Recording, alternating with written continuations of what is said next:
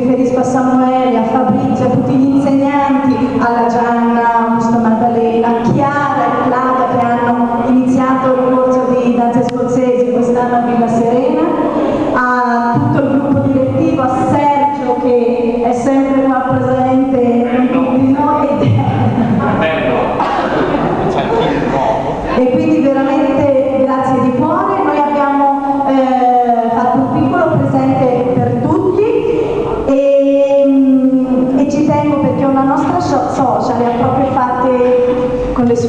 sono delle saponette